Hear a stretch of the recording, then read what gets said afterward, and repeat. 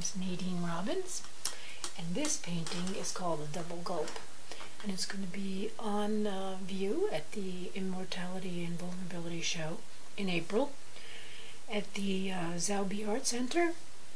And let's see, the opening is April 17th, and I'm really looking forward to it.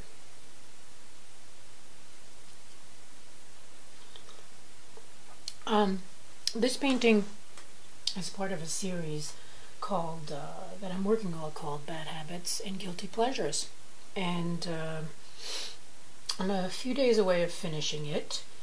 And both this one and another painting called She-Ra are going to make their way to Chicago for the show.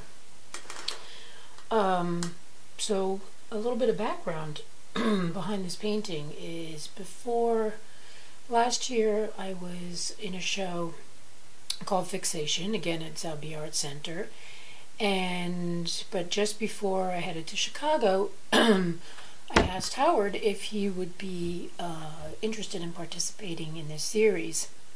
And to my delight, he said yes. And so um, once I got to Chicago, he took the time to let me photograph him. And it was great to have somebody who was so comfortable and confident in front of the camera and who bring um, a concept, in this case, his bad habit of drinking too many of these, um, to the painting as opposed to me bringing in my personality. So I thought that was great.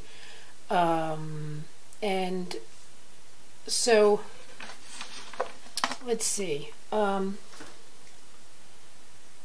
it, it's interesting.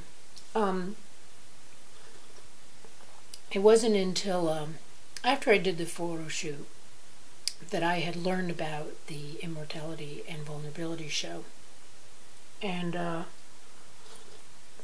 as luck would have it, this confidence and bad habit um, kind of, as I saw it, became alternative symbols to immortality and vulnerability and uh, I'm very excited about the show. Um, it's curated by um, Sergio Gomez and uh, Didi Menendez, um, and they're just bringing in, as always, a beautiful, wonderful roster of artists, and I'm very excited to be a part of it.